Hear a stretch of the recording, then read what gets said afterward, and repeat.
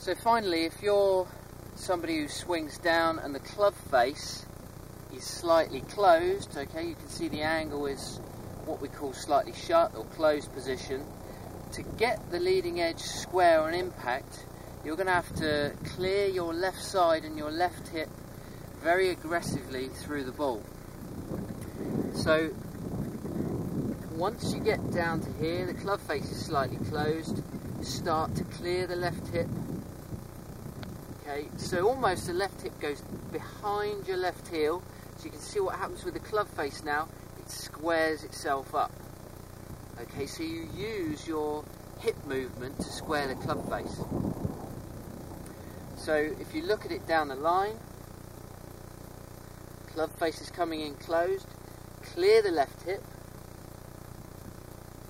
okay, it squares it up. So you might get a feeling like you're going to squeeze the ball and you're not actually going to use the hands so much.